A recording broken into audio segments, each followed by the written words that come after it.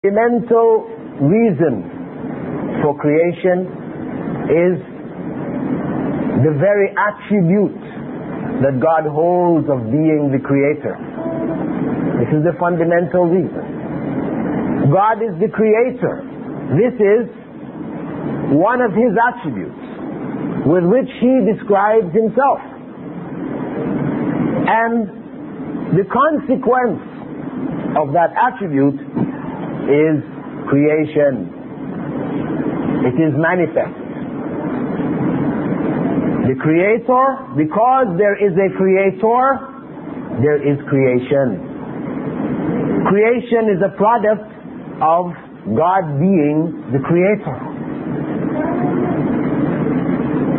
Just in simple terms, if we look in terms of man, if we think of a painter, and we say so and so is a painting painter, the first question you will ask, if you're told so and so is a painter, can I see one of his paintings? Why? Because this person has been described as a painter, he is described as such because he produces paintings. The title painter implies that he paints. And if somebody were to tell you he doesn't have any paintings, you would think, what, what kind of painter is this? There's something wrong with this painter. A painter who has no paintings? See? Paint, painting is a reflection of the attributes of being a painter. On a higher level, God is the creator. And being the creator, there is creation. A painter who paints is greater than a painter who doesn't paint. And God is perfect. To deny him creation is to make him less than he is. Perfection of the attribute of creator is in creation. So God created fundamentally because of the fact that He is the Creator.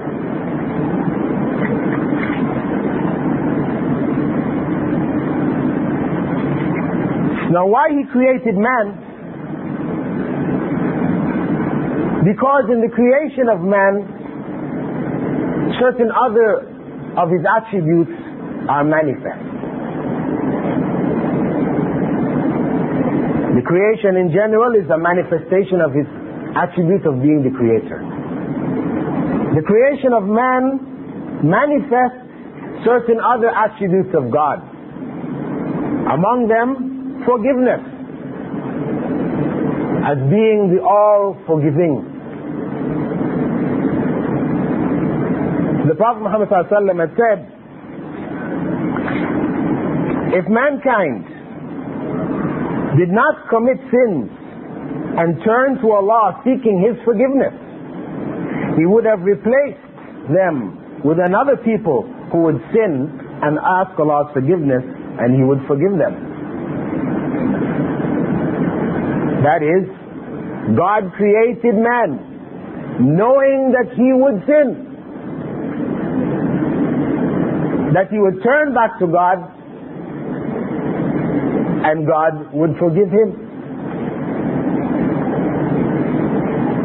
So we can see in this statement of the Prophet Muhammad, may God's peace and be upon him, an explanation of why man. Why man who commits sin?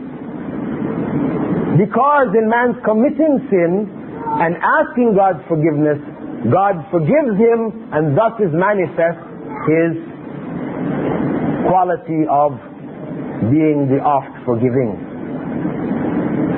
He created angels. Angels who commit no sin. And who praise Him all the time. Who worship Him all the time. So He didn't create man because He needed man's worship. Just as he in fact didn't create the angels because he needed the worship of the angels. But he created a, a, a being who would commit errors and ask his forgiveness and he would forgive them. His quality of forgiving, forgive, for, forgiveness, of being the oft-forgiving is manifest in man's error, in the nature of man to commit error. And this is why he taught Adam, from the very first man, he taught him how to earn salvation, how to ask God for forgiveness. And that is why sin is not inherited. But each individual commits sin, he or she may turn back to God, seeking repentance, and God forgives them. This is the story behind the creation of Adam and Eve in paradise. Why God created them, forbade them to eat from the tree, knowing that they would eat from the tree. Because He knew the future. God knows what is to be. He knew before He created Adam that he would disobey Him and eat from the tree. That is why when He created Adam, forbade him from eating from the tree, He also taught him words seeking forgiveness from God. It is deliberate.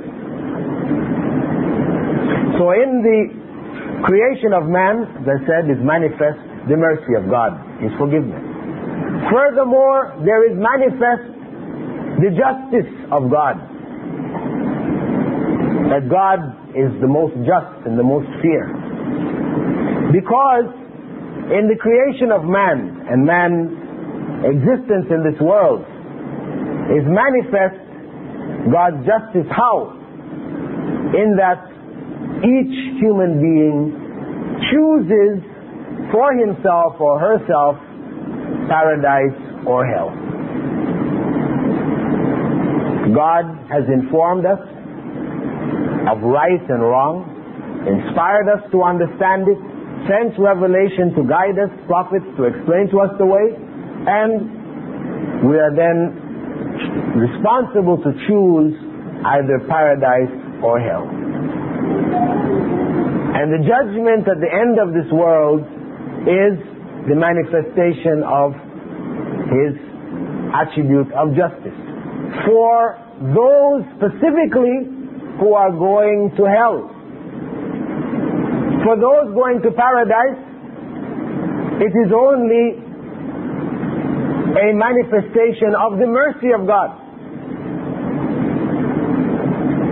As the Imam mentioned in the khutbah today, Prophet Muhammad had said that no one would enter paradise based on his or her deeds alone. And the companions asked the Prophet, even you, O Messenger of Allah? He said, even I. Were it not that God cloaked me in His mercy and His grace, none, not even I, would enter paradise. So for those going to paradise, it is a reflection of the mercy of God and God's grace. Because it is not our deeds which take us to paradise alone. Now God's grace and mercy is related to our deeds. Not to say we don't have to do anything. Of course we do. But the grace and mercy is from the side of God. That He has multiplied the value of our good deeds over our evil deeds. As Allah explained in the Quran, each good deed is worth ten times its value. And the evil deed is only worth itself. So when we do one good deed, it erases ten evil deeds. One evil deed is against us only as one evil deed.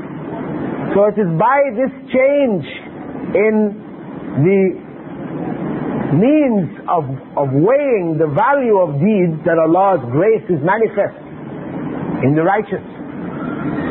But in terms of those going to hell, as we said, it is a manifestation of the justice of Allah.